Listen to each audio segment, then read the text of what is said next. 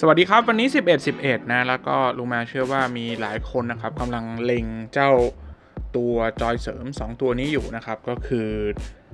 GameSir นะครับ X2 นะตัวนี้นะครับ X2 ที่เป็นแบบ USB Type C แบบนี้นะครับ แล้วก็อีกตัวหนึ่งจอย GameSir เหมือนกันนะ X2 เหมือนกันนะ แต่ว่าเป็น Pro นะครับ ราคาต่างกันพอสมควรนะ ตัวนี้ถ้าราคาแบบไม่ลดนะครับ 2,600 กว่าบาทนะ แต่ว่าถ้าช่วงลดลูแมวเห็นเหลือประมาณ2,300หรือหรือว่าอาจจะลดมากกว่านี้ก็ได้นะ ในช่วง 11 11 ลองไปกดดูนะครับลูแมวใส่ลิงก์ไว้แล้วนะครับ ตัวนี้เปิดตัวมาราคา 3,400 กว่าบาทนะครับ ก็ถ้าเป็นช่วงเซลล์ก็อาจจะใช้คูปองจ่ายได้ลดอีกนิดนึงนะ แต่ว่าสิ่งที่ก่อนจะไปซื้อกันเนี่ยก็คือแน่นอนเนาะก็ต้องถามว่า เอ๊ะแล้ว 2 อันเนี่ยมันต่างกันยังไงนะครับ ลูแมวมีโอกาสได้ใช้ทั้ง 2 อันแล้วนะครับ โดยที่แน่นอนใช้นี่นานกว่านะครับ แล้วก็ตัวนี้เพิ่งส่งมานะ แต่ก็เนื่องจากมีประสบการณ์กับทั้งคู่แล้วนะครับ ผมก็เลยคิดว่าน่าจะสามารถพอมาแบ่งแยกแยะประเด็นได้นะว่ามันต่างกันยังไงนะครับผม แต่ว่าก็ต้องไม่ลืมนะว่าช่องลุงแมวเนี่ยเป็นช่องเล่นเกมคอนโซลนะครับ เพราะฉะนั้นสิ่งเดียวที่ลุงแมวไม่ได้ทำเลยนะก็คือเล่นเกมมือถือกับจอย 2 อันนี้นะครับลุงแมวใช้ดีโมดเพลย์นะ PlayStation 5 นะครับ ก็คือส่งสัญญาณจาก PlayStation 5 มาที่มือถือแล้วก็เอามาเล่นเนาะกับ Xbox นะครับก็เหมือนกันนะเป็นรีโมทเพลย์เหมือนกันนะครับส่งสัญญาณจาก Xbox มาแล้วก็ Steam Link นะครับส่งสัญญาณจาก Steam Link จาก PC นะมาที่มือถือแล้วก็เอามาเล่นแล้วก็ GeForce Now นะครับ ส่งสัญญาณผ่าน Cloud Gaming มา สิ่งที่แตกต่างกันเลยแบบชัดๆนะครับ ระหว่าง 2 อันนี้นะครับ ตัว X2 กับ X2 Pro เนี่ย อันแรกเลยนะครับ ก็คือตัว layout ของปุ่มตรงนี้นะครับ A B X Y ตัวเนี้ยนะ ตัวเนี้ยเขาวางปุ่มมานะครับ ถ้าท่านผู้ชมดูใกล้ๆนะ เห็นไหม A B Y X นะครับเขาวางมาแบบตัว Nintendo Switch นะครับ นี่ อันนี้คือแบบคล้ายๆ เป็นตัว Joy-Con ของ Nintendo Switch เห็นไหม A B Y X นะครับ นี่นะ เห็นไหม A B Y X ซึ่งโดยปกติอะเวลาเราเอามาเล่นตัวรีโมทเพลย์ต่างๆ เกม PC ต่างๆอะมันจะวาง layout แบบจอ Xbox นะครับ A B X Y แบบนี้นะ นี่นะ ซึ่งมันจะสลับกันนะครับ ซึ่งมันจะตรงกับปุ่มเจ้าตรงนี้ สลับปุ่มเลยนะ งงเลยนะครับ เพราะฉะนั้นวิธีการง่ายๆนะครับ ที่คุณจะทำให้ปุ่มมันตรงกับ Xbox ซึ่งทำได้นะ ก็คือไปปรับในแอปนะครับ ปรับแอป g a m e s e r ในมือถือนะครับ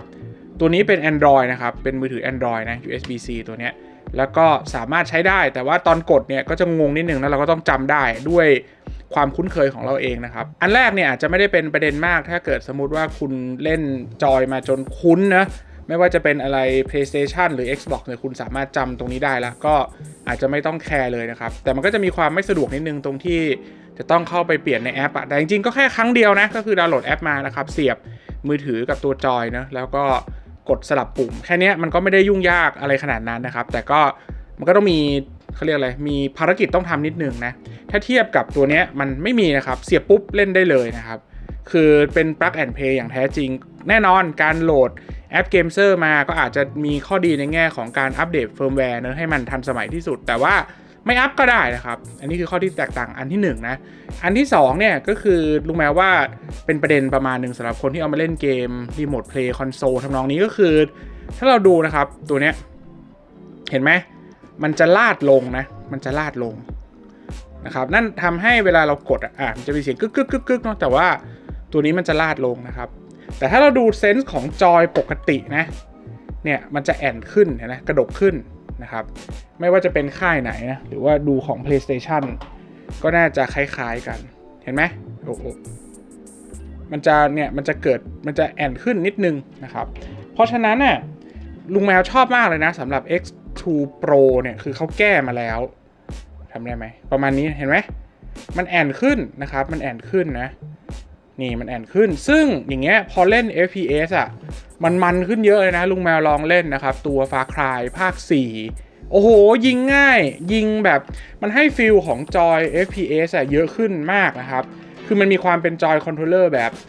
จอยมาตรฐานของการเล่นเกมคอนโซลเยอะขึ้นนะ ในขณะที่อันนี้มันจะให้ feel เหมือนจอยมือถือมากกว่าเนี่ยตัวเนี้ยรวมไปถึงแบบการยกขึ้นมาด้วยนะครับ การยกขึ้นมาของตัวหนุนตรงเนี้ยมันจะสูงขึ้นนะเนี่ย feel จะดีกว่านะครับประมาณนี้เนาะแล้วก็ทั้ง 2 ตัวนะครับสามารถชาร์จได้ อันนี้ชาร์จอยู่ด้านนี้นะก็คือเสียบมือถือตรงนี้ใช่ไหมแล้วก็ชาร์จไปเล่นไปได้นะครับ อันนี้ก็เหมือนกันนะชาร์จได้ตัวชาร์จนี่ก็ไม่ได้มีปัญหาอะไรนะครับ USB-C อยู่สลับกันนะ USB-C อยู่ด้านนี้นะครับ X2 ซึ่งความเจ๋งของมันก็คือถ้าใครใช้มือถือแบบอย่างเช่น C4 แบบของลุงแมวเนี่ยอยู่ด้านนี้มันจะดีกว่านะ เพราะว่าจอมันจะพับขึ้นไปข้างบนนะครับ ส่วนตัวเนี้ยจอจะพับลงมาข้างล่างน้ำหนักมันจะดึงๆนิดนึง แต่ก็ไม่ได้เป็นประเด็นมากแล้วลุงแมวคิดว่าคงไม่ได้เป็นมือถือทุกรุ่นเนาะถ้าเป็นมือถือ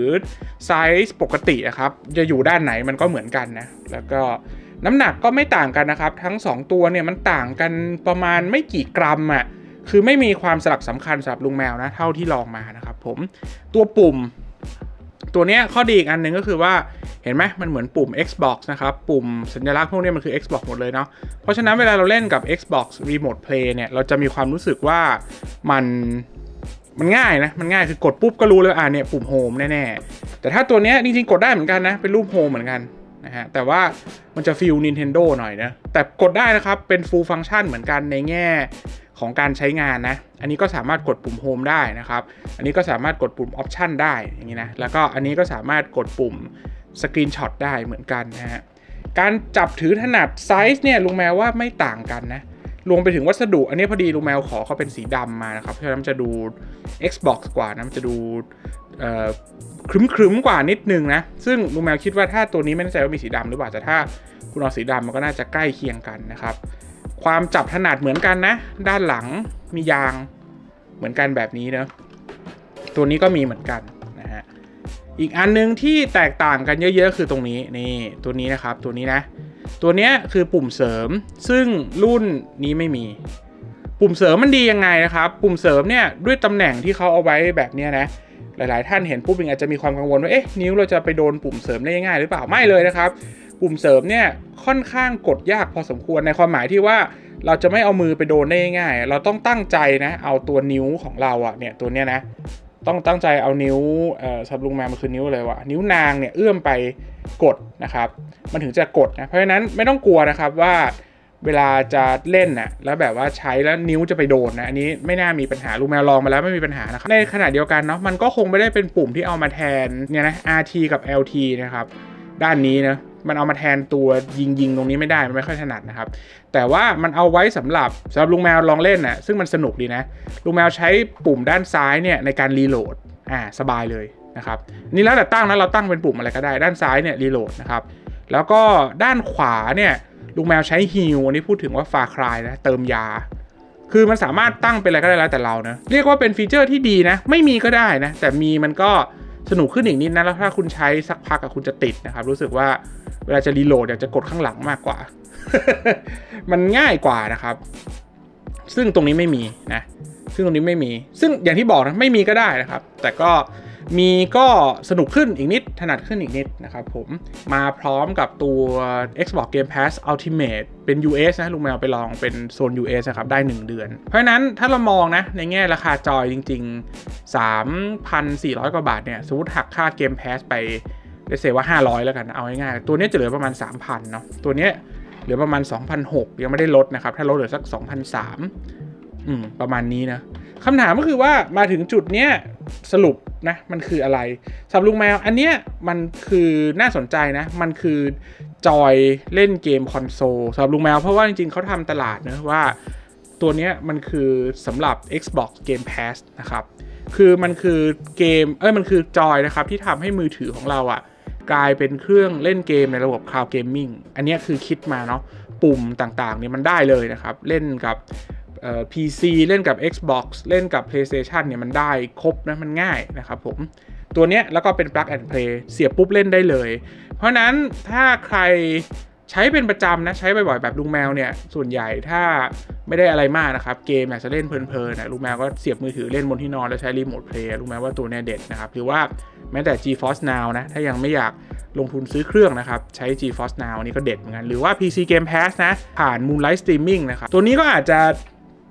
ย่อมยาวมาอีกหน่อย ถ้าใครยังไม่มั่นใจ อยากลองทั้งระบบเลยนะ ก็คือ Remote Play Work ไหมนะครับ GeForce Now Work หรือเปล่า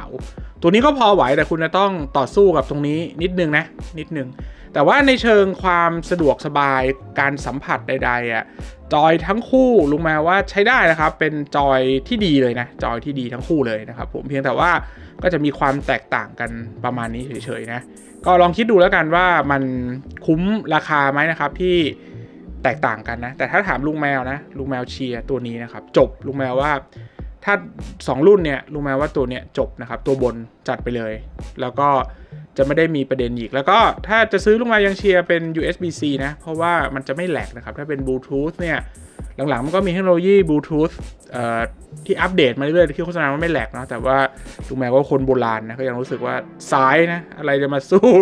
การเสียบตรงได้นะครับ ก็มันไม่แหลกแน่นอน แต่นนี้ก็แล้วแต่รุ่นมือถือใดๆด้วย ก็น่าจะประมาณนี้นะครับสำหรับความแตกต่างนะของตัว X2 Pro นะครับกับ X2 ซึ่งก็ต้องขอบคุณทางเกมเซอร์นะครับส่งมาให้รู้สึกว่าโอ้เนี่ยแล้วก็เป็นการเปิดโลก ของลุงแมวเข้าสู่โลกรีโมทเพลย์อย่างแท้จริงด้วยนะ โอเคท่านผู้ชมใช้แล้วนะครับ 2 ตัวนี้เป็นยังไงนะก็แบ่งปันประสบการณ์กันมาได้นะครับ ชอบตัวไหนไม่ชอบตัวไหน แล้วก็อย่างที่บอกนะวันนี้มี 11 11นะเพราะฉะนั้นลุงแมวใส่ลิงก์ทั้ง 2 ตัวนี้แล้วนะครับ ไว้ใน description นะครับคำอธิบายใต้วิดีโอ ซึ่งคิดว่ามันคงมีส่วนลดแหละมีทั้งโค้ดส่วนลดใด ๆ นะครับ ของแพลตฟอร์มนะ แล้วก็ที่ร้านเขาก็คงเสนอส่วนลดบางอย่างด้วยนะครับสำหรับวันนี้ก็ไปกดกันได้ โอเค เจอกันใหม่วิดีโอถัดไปนะครับ ขอบคุณมากๆเลยนะครับ ที่ติดตามลุงแมวมาโดยตลอดนะซาบซึ้งจริงๆ ครับผม เจอกันใหม่วิดีโอหน้า ขอให้มีความสุขสุขภาพดีใกล้ปีใหม่แล้วเด้อ ไปละ สวัสดีครับ